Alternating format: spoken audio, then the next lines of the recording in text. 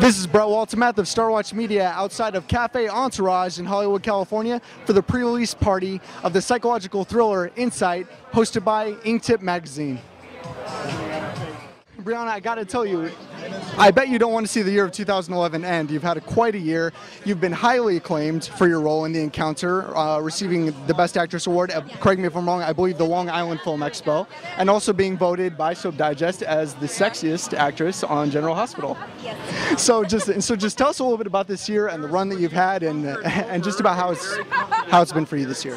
Uh, 2011 has been amazing. I have been on General Hospital, and like you had mentioned, and uh, last year we finished off by having being labeled uh, the best storyline of 2010 by Soap Opera Digest. So that was an awesome start. Um, I did that. I've been working on uh, Showtime's Homeland with Claire Danes, Mandy Patinkin. That's been amazing. I just finished doing uh, ABC's Body of Proof, and then we just recently wrapped an indie comedy called uh, Screwed, that I play the I play the, the, the woman that well I'll let you describe it so much better than I am. Yeah, it's a story about a guy who discovers that he's very bad in bed.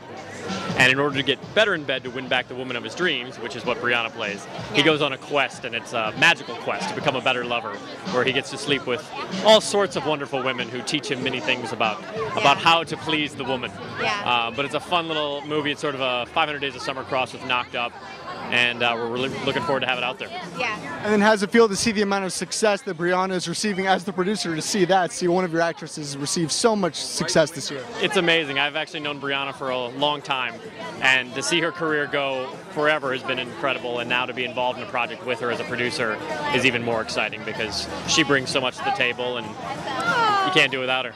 And and is Screwed the first project that you guys have collaborated on together? Yes. It is. Yeah. Uh, we're actually looking at doing a couple more here now in the next year, but uh, that's the first one we'd worked on together. Yeah. And what was it like on set for you guys collaborating for the first time but having known each other for many years? What was that? Oh, it was it was it felt like play. yeah, like my buddy. We're hanging out. Yeah. like? For you, sir? It was great. Uh, you know, it, our friendship has been incredible for both of us, but to work together, you have a trust that that isn't there in, in other situations, Yeah. and it was really wonderful. Yeah. Do you think in this industry that that's a very rare thing? I don't know if it's rare, but I think it's special. Yeah. I think that's why people uh, work together with people they know and trust over and over again because they just can collaborate and it's a yes and and it's just a more positive experience. That's exactly right. I think it eliminates the, the ego that can sometimes get in the way in projects, and you just when you can look at somebody in the eyes and know that you already have have a trust with them, you just move forward, and that's the best way to go. Yeah.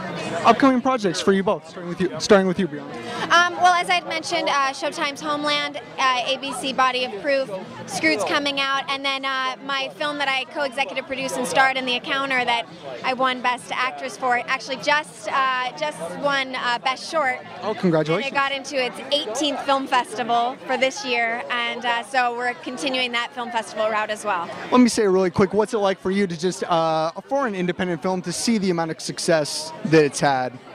Um, it's blown away because I was there when uh, my friend, the writer director, decided to start writing it. I was there and gave notes on the first draft, and I and I've always believed in Angela Matamocha as a director, and to see her going from stage to screen, and then to have such great accolades on her first, you know, directorial film debut.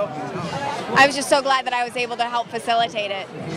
And upcoming projects for you, sir, that we have to look forward to. Uh, yeah, Punching Bees, which is my company. Uh, we also have a film in post called Least Among Saints, which is an indie war drama, and then we have a horror film that we're in pre-production on now. Actually, with my production with company. Brianna's production company. That's the next one we're collaborating on. Continued collaborative efforts. Yes. When it works, it works. When it works, it Uh, and then there's a couple other things we're circling right now, but we're going to have a busy 2000, uh, 2012. Yeah. Well, I, I wish you best of luck in 2012 and congratulations and best of luck on future endeavors. Thank you. Thank you so much.